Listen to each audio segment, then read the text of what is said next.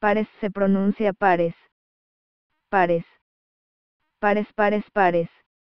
Vamos a practicar, una vez más, pares se pronuncia pares. Pares.